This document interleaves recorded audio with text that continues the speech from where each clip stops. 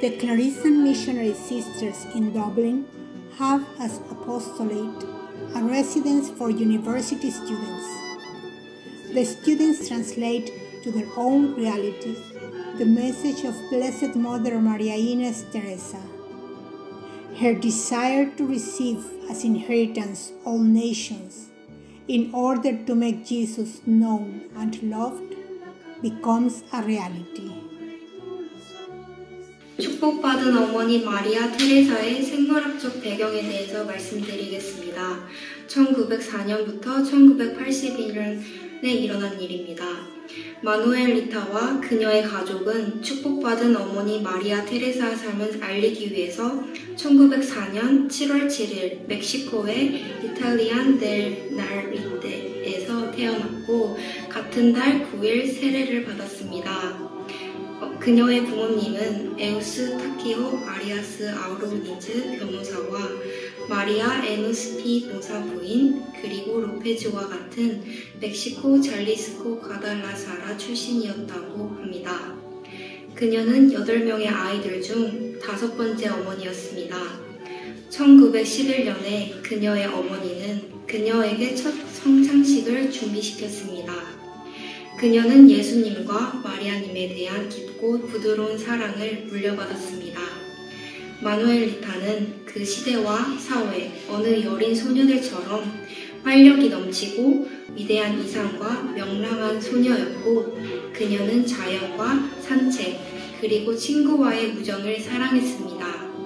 또한 마누엘리타는 카톨릭 행동의 동료 회원들과 함께 가난하고 가난한 사람들을 돕기 위한 활동을 조직하기도 했습니다. 마누엘 리타는 자신의 가족과 함께하고 사회의 일부가 된 것에 행복해했습니다. 그녀는 관심의 중심일 뿐만 아니라 존경받는 것을 좋아했습니다. 그런 행복에도 불구하고 마누엘 리타는 나는 이 일에서 어떤 성취감도 찾을 수 없었다고 언급했습니다. 나는 지구상의 모든 기쁨의 허영심을 이해하기 시작했다. 바로 내 마음이라고 말했다. 잔치, 모임, 남자친구 또는 다른 세상의 어떤 즐거움에서도 만족감을 찾을 수 없었다고 합니다. 마누엘 리타의 영혼은 매일 가족과 함께 받는 성체만을 갈망하고 갈증을 느끼기 시작했습니다. 한동안 아버지의 친구의 초대를 받아서 마누엘 리타는 마자틀란의 옥시덴틀 뱅크에서 일했고 매니저가 선언한 대로 마누엘 리타의 존재는 좋은 관계를 유지하고 좋은 근무 분위기를 유지하기 위한 그녀의 도덕적인 삶을 유지하는 데 도움을 주었습니다. L'opération chirurgicale que Manuelita devait subir en 1924 marqua le début de son temps de grâce.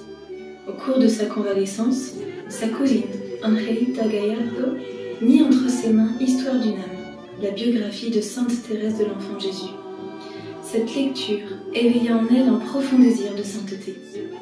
À partir de cet instant, elle décida de l'imiter en suivant ses pas.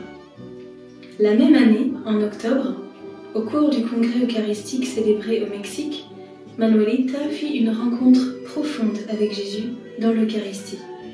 Cette expérience fut si forte qu'elle l'appela son moment de conversion. Alors que Jésus passait près de moi, il me regarda. Ses yeux plongèrent dans les miens et mon cœur le suivit. Je ne pouvais pas revenir en arrière. En 1926, alors que la persécution religieuse atteignait son sommet au Mexique lors de la fête du Christ roi, elle se consacra en victime d'Holocauste pour le salut des âmes. Elle décida ensuite d'entrer dans la vie religieuse cloîtrée pour devenir missionnaire, comme Sainte Thérèse, pour le salut des âmes à travers la prière et le sacrifice. Dès lors, elle fut missionnaire eucharistique. Elle passait chaque jour jusqu'à 8 heures en prière et en contemplation. La suspension publique du culte au Mexique lui donna du chagrin, mais aussi de l'espoir, apprenant à transformer la souffrance en une nouvelle forme d'amour. Le désir de sauver les âmes me dévore. Le temps passa, elle restait à la maison, où elle recevait l'amour de sa famille, tout en pratiquant le don d'elle-même au Seigneur. Nombre uno, Guadalajara, chineke kpọrọ ya. Ọ nọ n'ifu foto nwanyị guadalupe. Ọ bịa nye chineke ndụ ya. Ọ jere ndị cloister monastery o nweta nsọ chineke. Ọ chọrọ iji ịchụ àjà na ekpere were zọpụta ndị mmadụ. Ọ jee ndị otu Porcelain Nuns afa ha bụ Ave Maria ha nọ Mexico. Maka ọnọdụ ọ da n'ihe ọ chọrọ ime na afọ atọ. Na June 1929 ka ọ banyere ndị otu monastery Port Clare ha nọ na exile na Los Angeles USA Manuelita nye ndụ n'ihe a na-eme na Disemba 8, 1929 ha banyere aha ya ka Maria Ines Teresa of Blessed Sacrament 几年后，特蕾莎修女极其渴望成为一名传教士，使传耶稣之名至不闻其名的人中。特蕾莎修女祷告，以神的旨意为传教基础，在智者的建议后，听从了开始他的计划。屈辱、考验和痛苦乃是基础，上帝把这一切交予其手，洗涤他的灵魂，为将来的事业做好磨练和准备。十二年后。也就是一九四五年，特雷特蕾莎修女获得了墨西哥主教的批准，主教将允许她进入自己的教区，建立一座新的修道院，为成为一个新的传教士教会做准备。一九四五年的五月十二日，该基金会的批准位于罗马签署。同年八月二十一日，在玛利亚修道院中举行了一场弥撒。向为特蕾莎修女以及五位传教士女告别。他们在获得许可后，要离开修道院，开始他们的传教旅程。一九四五年的八月二十五日，第一次弥撒在库艾纳瓦卡的一个临时出租的屋子里举行，旨在成为一个新的修教会。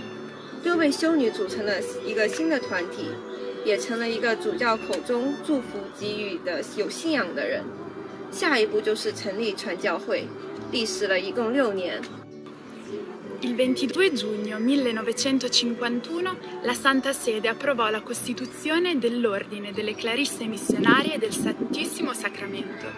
La congregazione comprendeva 92 religiose, di cui Maria Ines fu la prima madre superiora generale e vi restò fino alla sua morte, avvenuta il 22 luglio del 1981, riuscendo così ad estendere le opere apostoliche in più di 50 missioni in tutto il mondo.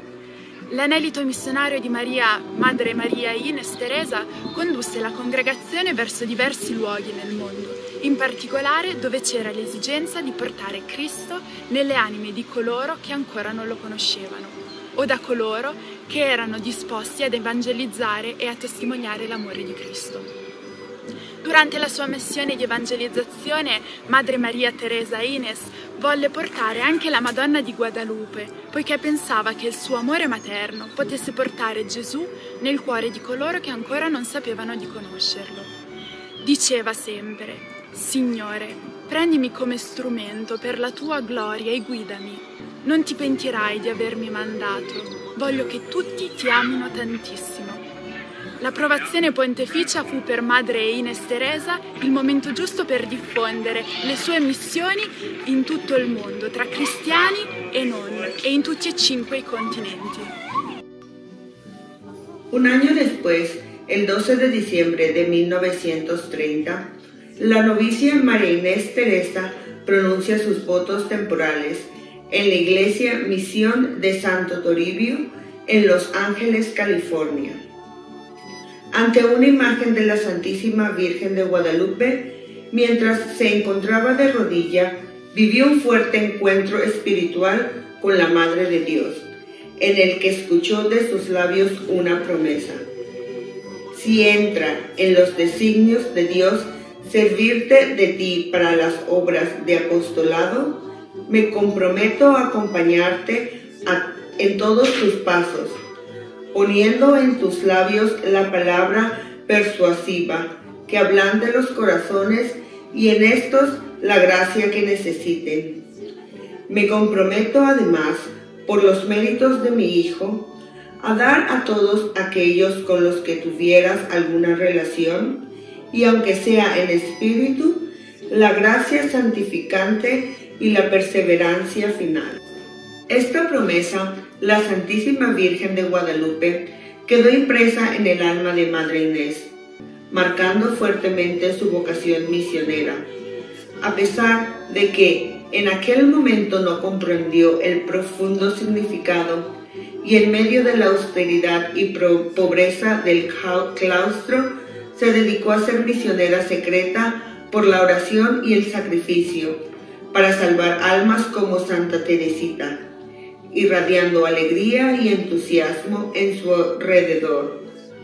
En 1931, la comunidad de clarisas sacramentarias regresó a México, cuando aún no se extinguían los efectos de la persecución. After many years of constant travels, of crossing the continents through and forth, the time for her to rest arrived. Mother Ines underwent nine months of painful sufferings, sufferings she accepted with a joyful fiat, thanking God, who she felt was calling her to Him for the eternal nuptials, to continue from heaven to glorify the Lord, while on earth she may continue to light as a star the paths of each one of her children. Her sick room was like a sanctuary of peace and joy, as she felt always to be on the loving arms of God, her loving Father. In Rome, on July 22, 1981, after pronouncing the words, Yes, daughters, we have finished, let us give thanks to God. Mother Maria Ines Teresa closed her eyes to the realities of this world to open them to the eternal ones. She left for us a spiritual inheritance by her testimony of self-surrender and holiness. As irmãs missionárias clarissas podem agora ser encontradas em 15 países, desde o México, Japão, Estados Unidos, Costa Rica, Indonésia, Serra Leoa, Itália, Espanha, Irlanda, Nigéria, Coreia, Índia, Rússia, Vietnã e na Argentina, em um total de 66 missões. Os nossos esforços e ações missionárias são dirigidos tanto a cristãos como a não cristãos, através de catequese, da vida pastoral, da evangelização direta, de clínicas ambulatórias, hospitais, jardins de infância, escolas, residências universitárias, trabalhos pastorais e sociais. Todo e qualquer tipo de apostolado é impulsionado pelo desejo da nossa fundadora que todos te conheçam e te amem, é a única recompensa que procuro. Através de um tipo de apostolado, a Congregação Irmãs Missionárias Clarissas pede às suas missionárias que realizem a sua missão de espalhar uma mensagem de verdade, alegria e anunciar o amor infinito de Deus como Pai a todos os seus filhos. Besides the Clarissan missionary sisters, the Inesian family shares the missionary charism of Blessed Maria Ines Teresa of the Blessed Sacrament. When the, when the constitutions of the congregation were approved in 1953, a volunteer group of lay missionaries was born. The aim of the group is to live the holy gospel of our Lord in the family social, and professional surroundings of their daily activity with the aim of presenting Christ to others through their motto to live for Christ by their testimony of faith, hope, and love. Mother Ines Teresa, attentive always to discover God's will through the signs of the time, accepted God's call to found a missionary institute for men to follow the same spirituality as the Clarissan missionary sisters. From the experience of some young members of Van-Clar, the lay missionary group, who had the desire to consecrate themselves totally to the Lord, the idea was born. The Institute, even if small, is already present by Missio Agentes in Sierra Leone. நபர்களிடம் இருந்து நற்செய்தி ஆலோசனைகளை பின்பற்றுவதற்கான விருப்பம் மிகவும் ஆர்வமாக இருந்தது அவர்களிடம் இருந்து புனித இன்னேசியன் மிஷனரி நிறுவனம் பிறந்தது அவர்களின் நோக்கம் என்னவென்றால் அன்னை தெரேசா கவர்ச்சி அவர்களின் சிலைகளின்படி சுவிசேஷ ஆலோசனை பின்பற்றி அவர்கள் மிகவும் ஆர்வத்தோடு வாழ்ந்தார்கள். மறைமாவட்ட குருக்கள் மதர் இன்னேஸ் தெரேசா. குருக்கள் ஒரு குழு மத அல்லது மறைமாவட்டம் ஆக இருக்கிறார்கள். அவர்கள் இந்நேசிய ஆன்மீகத்தை பின்பற்றுகிறார்கள். மேலும் அதை தாங்கள் சொந்த மறைமாவட்ட ஆன்மீகத்தால் வளப்படுத்துகிறார்கள். நற்கருணை குடும்பம். டிசம்பர் பத்தொன்பது இரண்டாயிரத்தி பத்து அன்று மான்சிக் அல்லது பருத்தி துறை ரிவேரா மரிய மாவட்ட குருக்கள் உறுப்பினர் அன்னை இன்னேஸ் தெரேசா ஆகியோர்கள் நிறுவப்பட்ட நற்கருணை குடும்பத்தின் மூவாயிரத்துக்கும் மேற்பட்ட உறுப்பினர்கள் எங்கள் இந்நேசிய குடும்பத்தின் அதிகார பூர்வ பூர்வ உறுப்பினர்களாக ஆனார்கள். கடவுளுக்கு மகிழ்ச்சி மற்றும் நன்றி. உணர்வின் ஒரு ஆதாரம் எங்கள் புதிய சகோதரர்கள் இந்நேசிய குடும்பத்தின் மாற்றவர்களின் கூட வாழ தயாராக இருக்கிறார்கள் அன்னை இன்னேஸ் இன்னேச திரேசாவின் ஆன்மீகம் มรดกของท่านที่เหลือไว้แก่คริสตจักรสากล คือเครือคณะซึ่งประกอบด้วยยูคาริสติก มาเรียน พรีสลีย์ มิชชันนารี พระผู้เป็นเจ้าทรงมอบหมายให้คุณแม่อินเนสเทเรซาด้วยพรพระอันพิเศษ และทรงประทานความแข็งแกร่งและอุดม ทางจิตวิญญาณ ซึ่งจำเป็นสำหรับงานที่ท่านได้รับมอบหมาย โดยยูคาริสติกมาเรียนพรีสลีย์มิชชันนารีนั้น ได้กลายเป็นมรดก ซึ่งสืบทอดไม่เพียงแต่โดยเครือคณะเท่านั้น แต่ยังโดยคริสตจักรสากล จิตวิญญาณเหล่านั้นได้ถูกรวมเป็นสัญลักษณ์ของเราดังต่อไปนี้ยูคาริสติกแทนด้วยลำต้นของข้าวสาลี ระเยซูในสิ่งศักดิ์สิทธิ์คือศูนย์กลาง ผู้นำทางและความแข็งแกร่งของเรา เราดำรงความลึกลับของพระเยซู ในศีลพระมหาสนิท โดยเข้าร่วมการเคารพศีลมหาสนิทศีลบวช วันขอบคุณพระเจ้า และกระตุ้นการตระหนักรู้ถึงการเสียสละนาแท่นบูชา ที่ซึ่งเราได้พบกับการปรากฏตัวของท่าน มาเรียนแทนด้วยดวงดาวและดอกไม้ พื่อสร้างรู้และรักพระเป็นเจ้าและพระแม่มารี ผู้เป็นราชินีและแม่ของทุกคน โดยเฉพาะผู้ที่อยู่ในการดูแลของพระแม่ พระผู้อุปถัมภ์หลักของเครือคณะ ಪೂಜಕತ್ವೆ ಸಂಕೇತೆ ಧರ್ಮಾಪೇಕ್ಷಕ ಪಹನಾಯಿ ಕ್ಲರೀಶಿಯಾನು ಮಿಷನಾರಿ ಸಹೋಯಿರಿಯನ್ಯನು ತಮನ್ವಿಸಿನ್ಮ ತಮನ್ವಮ ಪರಿತ್ಯಾಗಕ್ಕೆ ಒಪ್ಪುಕರಣ ทนัตติยาคี සේ ඔප්පු කරනා තැනැත්තියකි. සමස්ත ලෝකයේ ගැලවීම උදෙසා තමන්ව පූජා කරනා ක්‍රිස්තුස් වහන්සේ සමඟ ඒකත්වේ. ඇය ඇයගේ සම්පූර්ණ පැවැත්මම පූජාවක්සේ ඔප්පු කරනු ලබනවා. මිෂනාරීත්වයේ සංකේතය කුරුසියන්ගෙන් සෑදුණු ඔටුන්නක් සහිත ලෝක ගෝලයයි. ඔහු රාජකීයත්වයට පත්වීම අත්‍යවශ්‍ය වේ යන ආදර්ශ පාඨය හරහා ක්ලරීෂයානු මිෂනාරි සහෝදරිය තමන්ගේ අපෝස්තලික මිෂනාරි කැඳවීම ප්‍රකාශයට පත් කරනු ලබනවා. එක් කැඳවීම අන්හය අන්හය හා සමඟ බෙදා ගැනීම මගින් දෙවියන් වහන්සේගේ රාජ්‍ය සියලු මනුෂ්‍යයන්ට ඇතුල් විය හැකි තැනක් බවට පත්කිරීමේ වගකීම මුළු ලෝකය සමගම ඔවුන් බෙදාගනු ලබනවා. මරියායිනෙස් මෞතුමියගේ ජීවිතයේ විශේෂිතම ලක්ෂණයක් වූයේ ඇගේ මිෂනාරි ජෝලිත භාවය නිසා ඇයට සියලු වර්ගවල මිනිසුන් සමඟ වැඩකිරීමට තිබූ හැකියාවයි. දෙවියන් වහන්සේගේ පනිවිඩිය ගෙනයාමට ඇයට කිසි විටකත් භාෂාව සංස්කෘතිය දේශගුණය කාලගුණය යනාදී කිසිවක් බාධාවක් වුණේ නැහැ. ඔවුන්ගේ ප්‍රීතියේ සංකේතය වීනාවයි. ඉන් හැඟවෙන්නේ ඇය උදෑසන අවදිවන මුහොතේ පටන් රාත්‍රිය නින්දට යනතෙක්. ක්ලරීෂයානු මිෂනාරි සොහොයුරියන්ගේ හදවත දෙවියන් වහන්සේ වෙනුවෙන් වීනාවක් මෙන් වාදනය වෙන බවයි. Yes, you can